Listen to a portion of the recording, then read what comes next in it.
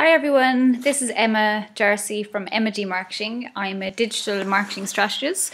I'm also a business coach. So if you're looking for somebody to help you with your um, business, to look at new opportunities, you know, give me a call.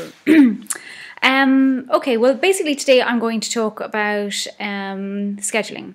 Scheduling is a very important aspect of social media. Um, as we all know, you know, um, social media is really important. It's free to use. The biggest thing being that there is a huge time suck in the amount of time that you need to actually put into it.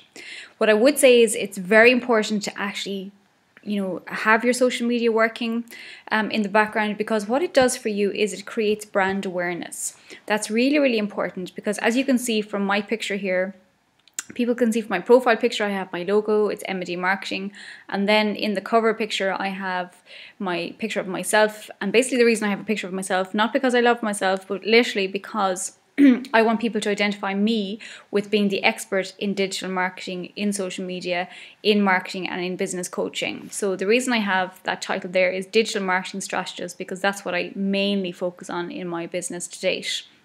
Okay, so I suppose just going back there, um, the reason that you need to be on social media frequently um, or to have posts going out for your business is that it creates brand awareness. When people are thinking of using a marketing person, a plumber, um, a web designer, um, they need to go to jewelers or whatever the case is, they will bring to mind the most recent kind of advertising or advertisement that they have seen.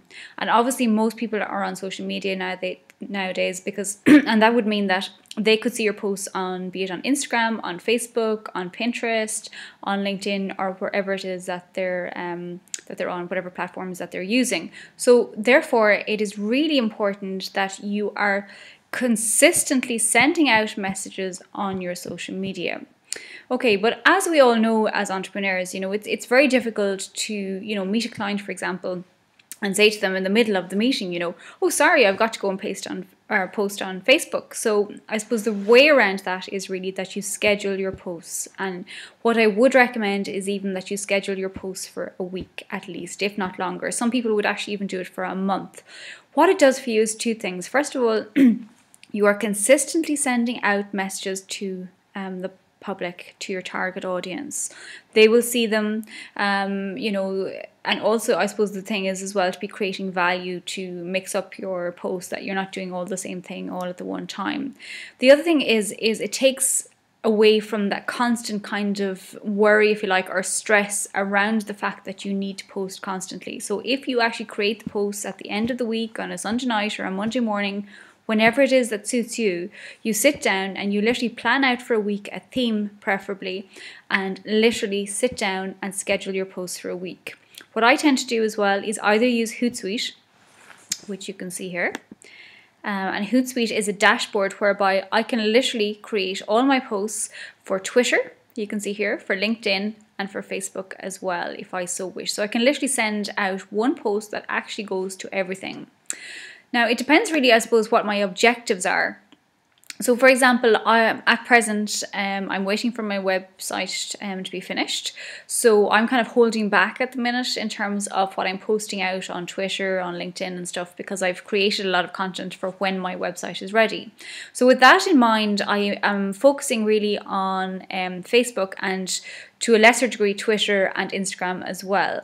So, what I've done is I've linked my Facebook to Twitter. So every time I post on Facebook, it's equally going out on Twitter as well.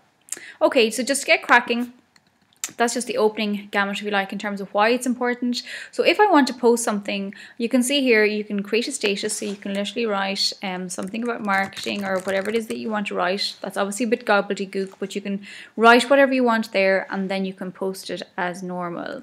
You can also upload a photograph um, you can upload a video, you can create an offer, you can create an event or a milestone as well. You have emoticons here and you can add your location to the post as well. And again, you can add photographs um, to your post. So you've got quite a lot of functionality there in terms of what you're going to post. Now, when you actually do the post, what you do is, for example, if you don't want it to go out initially um, and you do want to schedule for the week, what you do is click the drop down button, hit schedule, and you can see here there's um, a little calendar comes up so you can decide on the date. It comes up with today's date. So I could decide for today, just for example, at 4 p.m. that I want this post to go out. So what I do is I change the time, PM or AM. We have today's date and then schedule. I hit schedule. And so that's one scheduled post to go out at 4 p.m. today. I can see the post.